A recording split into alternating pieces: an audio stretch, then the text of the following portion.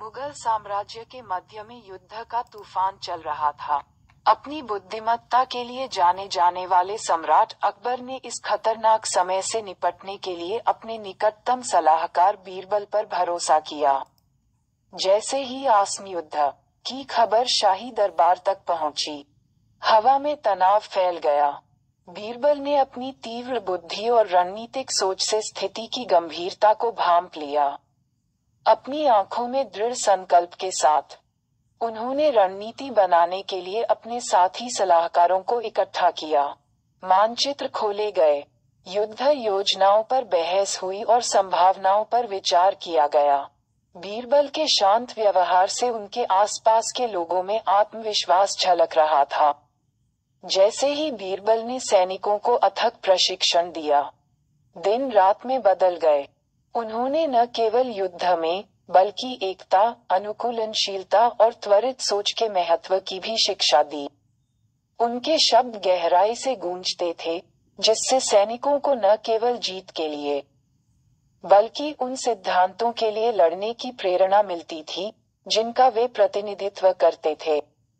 तैयारियों के बीच, बीरबल अपने अध्ययन कक्ष में चले गए। उन्होंने युद्ध योजना के हर पहलू का विवरण देते हुए सावधानी पूर्वक एक रिपोर्ट तैयार की। रिपोर्ट महज एक सामरिक दस्तावेज़ नहीं थी। यह उनके समर्पण और हर संभावित परिणाम की भविष्यवाणी करने की उनकी क्षमता का प्रमाण था। प्रत्येक शब्द उनकी बुद्धिमत्ता से ओतप्रोत था। जो अकबर और उसके सेनापतियों को स्पष्ट से परे देखने और रणनीति के गहरे सार को समझने के लिए प्रेरित करता था। हिसाब किताब का दिन आ गया और बीरबल ने अपनी रिपोर्ट बादशाह अकबर के सामने पेश की। अपनी जिज्ञासा के लिए जाने जाने वाले अकबर ने बीरबल को अपना तर्क बताते हुए ध्यान से सुना। बीरबल के शब्दों में जटिल सोच की एक टेपेस्ट्री बुनी गई।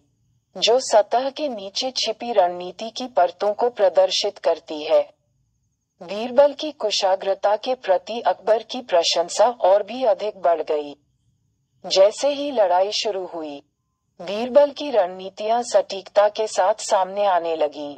सैनिकों ने ऐसे युद्धाभ्यास किए जो न केवल उनके प्रशिक्षण को प्रदर्शित करते हैं बल्कि प्रत्येक चाल में की गई सावधानी पूर्वक योजना को भी प्रदर्शित करते हैं। युद्ध का मैदान एक कैनवास बन गया, जिस पर बीरबल की प्रतिभा ने विपरीत परिस्थितियों में विजय की उत्कृष्ट कृति चित्रित की। युद्ध की धूल जमने के बाद बीरबल परिणाम के बीच खड़ा था। उनकी आँखों में थकावट और गर्व का मिश्रण था। जो इस बात का प्रमाण था कि नेतृत्व कितना नुकसान पहुंचाता है। लेकिन बीरबल को पता था कि सीख जीत के साथ खत्म नहीं होगी। सम्राट अकबर भी युद्ध के मैदान में बीरबल के साथ शामिल हो गए। उनकी निगाहें कठिन संघर्ष में मिली, जीत के अवशेषों पर टिकी हुई थीं। बीरबल की रिपोर्ट ने उनका मार्गदर्शन किया था, लेकिन अनुभव ने उन्हें और भी बहुत कुछ सिखाया था। अकबर बीरबल की ओर मुड़े। उनकी आँखों में कृतज्ञता और जिज्ञासा झलक रही थी।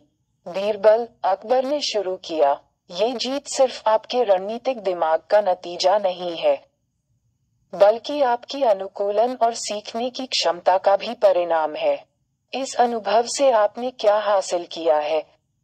बीरबल की प्रतिक्रिया विनम्रता और अंतर्दृष्टि से भरी थी। महामहिम जीत सिर्फ़ एक दुश्मन पर विजय पाने के बारे में नहीं है। ये खुद पर विजय पाने के बारे में है, किसी के डर। संदेह और सीमाओं पर, ये हर चुनौती से सीखने और समझदार और मज़बूत बनने के बारे में है। जैसे ही उनकी जीत की खबर फैली, बीरबल ने दरबार और सैनिकों को संबोधित किया। उन्होंने युद्ध के मैदान से सीखे गए सबक साझा किए, तैयारी की शक्ति। एकता का महत्व और नई अंतर्दृष्टि के लिए खुले रहने का मूल्य। उनके शब्द सुनने वाले सभी लोगों के दिलों में गूंज गए, जिससे उन्हें न केवल सैनिकों के रूप में, बल्कि अपनी लड़ाई का सामना करने वाले व्यक्तियों के रूप में प्रेरणा मिली। बीरबल की रणनीतिक प्रतिभा ने न केवल मुगल साम्राज्य की जीत सुनिश्चित की थी इसने उन लोगों के मन और हृदय को समृद्ध कर दिया था जिन्होंने इसे देखा था। उनकी विरासत इतिहास में केवल एक फुटनोट के रूप में नहीं, बल्कि सीखने, सोचने और ज्ञान के साथ नेतृत्व करने की स्थायी शक्ति के प्रमाण के रूप में खड़ी है। समय के इतिहास में बीरबल का नाम प्रतिभा का पर्याय बन गया। उनकी कहानी उन सभी के लिए प्रेरणा का प्रतीक बन गई।